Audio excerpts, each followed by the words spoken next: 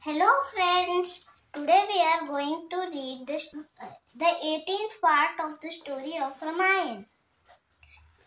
So, so let's go. Episode 18 Swayamvara at Mithila. Mithila.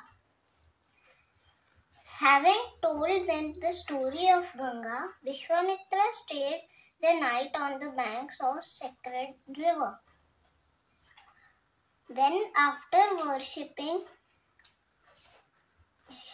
her, they left for uh, the onward journey to Mithila.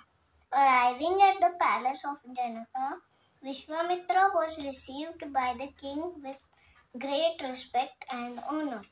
He introduced the princess to Janaka. Janaka took all of the all of them to a hall where many princes and warriors were assembled to fulfill the conditions of this Swayamvara. A huge bow that, that had been given by Lord Shiva rested on a platform. It had to be strung by the contestants to win Sita's hand in marriage. Many strong warriors had made the attempt but were, but were unsuccessful. Janaka was feeling very sad and anxious as he wondered aloud if anyone would be able to lift the heavy bow and string it.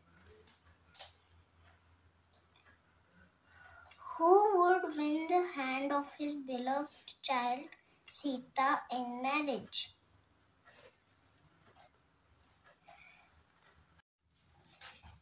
So, this is the picture, and everyone is trying to pick the bow. No one is able to pick it up, and King Janaka is seeing that if anyone could pick it up. Thank you. Okay, bye.